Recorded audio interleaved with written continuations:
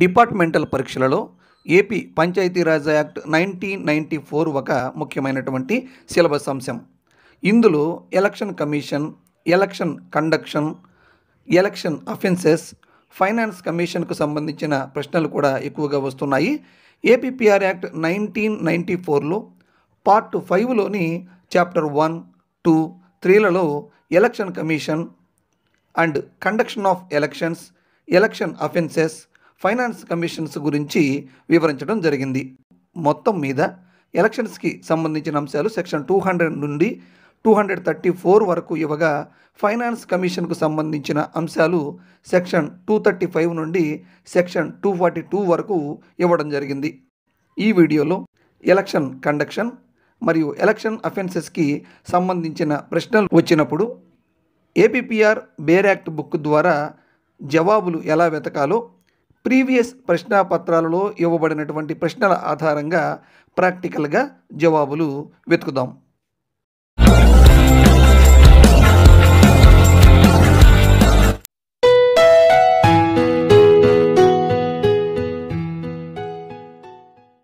Section two hundred నుండి section two forty two వరకు ఉన్నటువంటి రూల్స్ను మనం ఈ విధంగా షార్ట్ డిస్క్రిప్షన్లో గుర్తుంచుకోవచ్చు. Section two hundred two section two hundred ten election commission constitution and conduction of elections. Section two hundred eleven to section two thirty four election offences. Section two thirty five to section two forty two finance commission. Bare act books ఉన్నవారు bare act books లేనివారు ఇప్పుడు తెలిపేటువంటి ముఖ్యమైన sections గురించి ఆ సెక్షన్స్లో ఉన్న ముఖ్యమైన keywords గురించి గుర్తించుకున్నట్లయితే సెక్షన్ టూ హండ్రెడ్ నుండి సెక్షన్ టూ ఫార్టీ టూ వరకు election commission election offences finance commission అంశాల నుండి వచ్చే ప్రశ్నలకు జవాబులు మనం బేర్ యాక్ట్ బుక్ లేకపోయినా కూడా గుర్తించవచ్చు. ముందుగా ముఖ్యమైనటువంటి సెక్షన్స్ని ఆ సెక్షన్స్లో ఉన్నటువంటి ముఖ్యమైన అంశాన్ని తెలుసుకుందాం. Section two hundred. Constitution of election commission EC appointment. ఈ సెక్షన్లో ఎలక్షన్ కమిషన్ ఏర్పాటు గురించి తెలిపారు. ఈ సెక్షన్ ప్రకారం స్టేట్ ఎలక్షన్ కమిషనర్ని గవర్నమెంట్ రికమెండేషన్ ప్రకారం గవర్నర్ గారు నియమించడం జరుగుతుంది. Section two hundred one power and functions of election commission. Section two hundred వన్లో స్టేట్ ఎలక్షన్ కమిషనర్ యొక్క పవర్సు అదేవిధంగా ఫంక్షన్స్ గురించి తెలియజేశారు. స్టేట్ ఎలక్షన్ కమిషనర్ యొక్క ముఖ్యమైన functions preparation of electoral rules and conduction of election section two hundred one A ఈ సెక్షన్లో ఎలక్షన్లలో ఓటింగ్ మిషన్స్ వాడకం గురించి తెలియజేశారు. Section two hundred two symbols for elections. ఎలక్షన్లో కంటెస్ట్ చేస్తున్నటువంటి క్యాండిడేట్స్కి సింబల్స్ కేటాయించడం గురించి ఈ సెక్షన్ టూ హండ్రెడ్ టూలో తెలిపారు.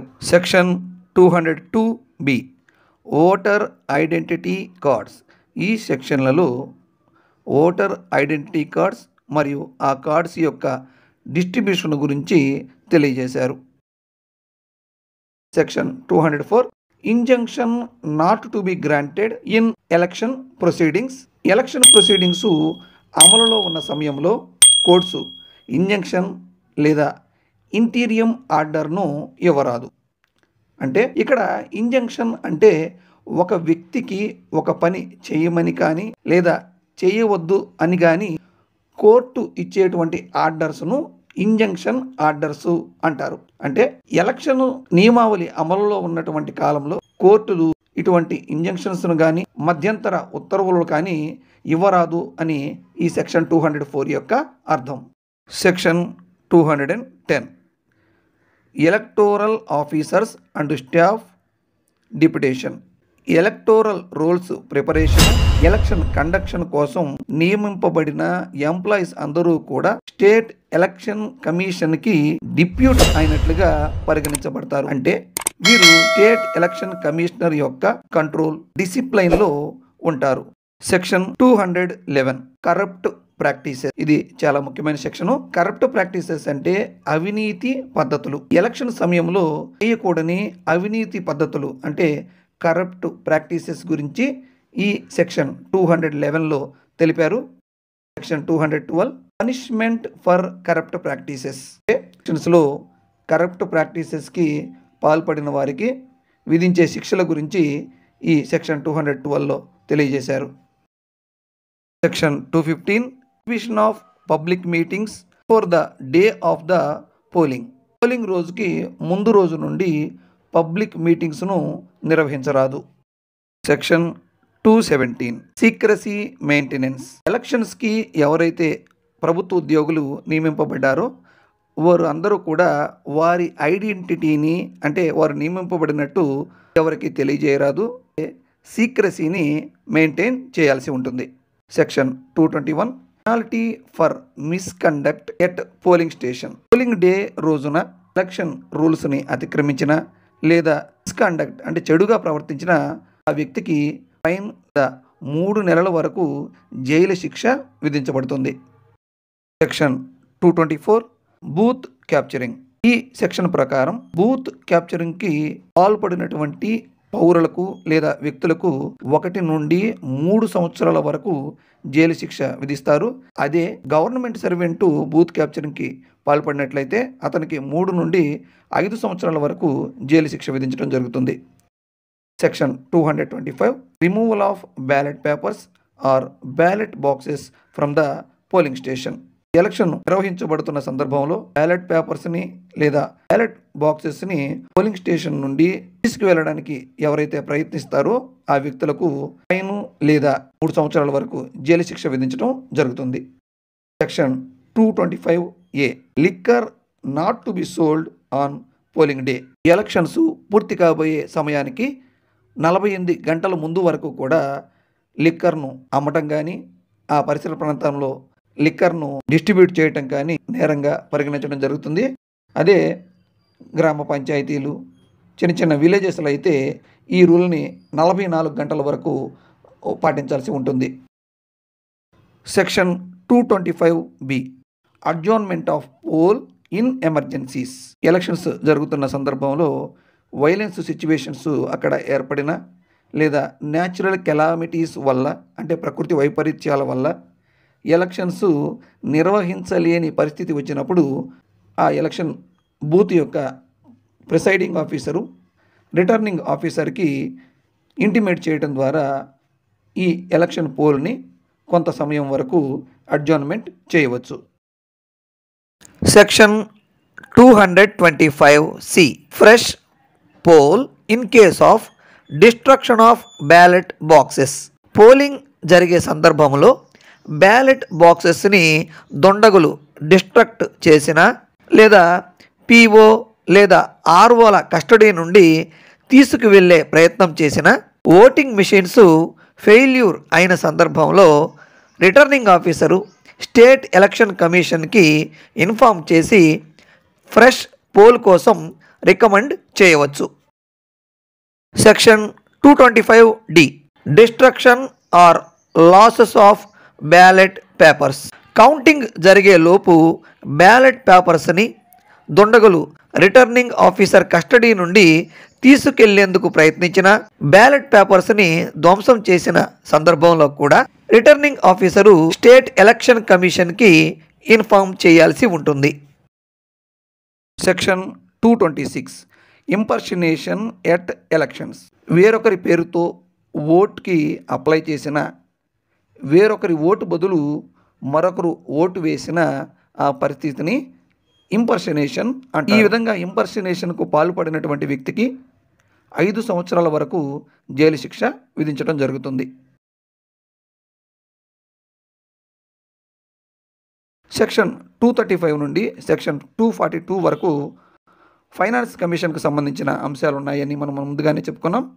ఇందులో section two thirty five section two forty two నుండి మాత్రమే ఎక్కువగా ప్రశ్నలు వస్తున్నాయి. ఈ రెండు సెక్షన్స్ మీద మనం ఎక్కువగా ఫోకస్ చేయాల్సి ఉంటుంది.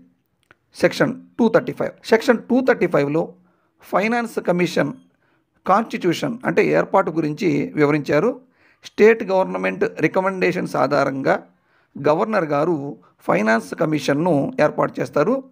ఈ కమిషన్లో ఒక చైర్మన్ నలుగురు మెంబర్స్ ఉంటారు. సెక్షన్ టూ థర్టీ నైన్లో ఫైనాన్స్ కమిషన్ ఆఫీస్ మెంబర్స్ యొక్క టర్ము ఎలిజిబిలిటీల గురించి వివరించగా సెక్షన్ టూ ఫార్టీలో ఫైనాన్స్ కమిషన్లోని మెంబర్స్కి స్టేట్ గవర్నమెంట్ శాలరీస్ మరియు అలవెన్స్ చెల్లిస్తుంది అని తెలిపారు.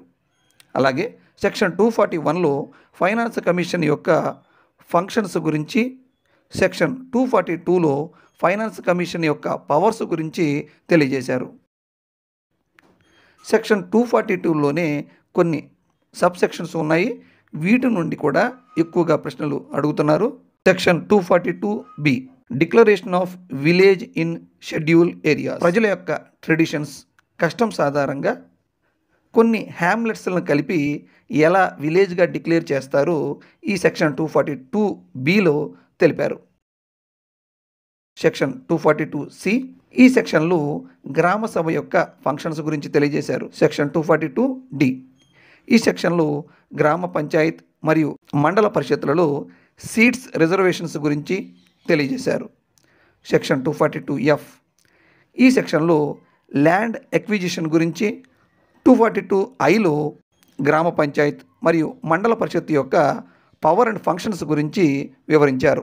ఇప్పటి వరకు మనం తెలియజేసినటువంటి సెక్షన్స్ను కొంతమేర మనం గుర్తించుకోగలిగితే ప్రశ్నలకు జవాబులు వెతికే సమయం అనేది చాలా తగ్గిపోతుంది. అంటే మనం తక్కువ సమయంలోనే జవాబులు బేర్ యాక్ట్ బుక్ ద్వారా వెతకవచ్చు. బేర్ యాక్ట్ బుక్లో Panchayati Raj act nineteen ninety four నుండి వచ్చినటువంటి ప్రశ్నలకు జవాబులు వెతికేటప్పుడు ముందుగా బుక్ యొక్క స్టార్టింగ్ పేజెస్లో ఇవ్వబడినటువంటి కంటెంట్స్ అంటే విశేష సూచికలో వెతకాలి. అక్కడ జవాబు దొరకకపోతేనే డీటెయిల్డ్గా ఆ సెక్షన్ను ఓపెన్ చేసి వెతకాలి. ఎందుకంటే దాదాపు ఎనభై శాతం ప్రశ్నలకు కంటెంట్స్లోనే జవాబులు దొరుకుతుంటాయి.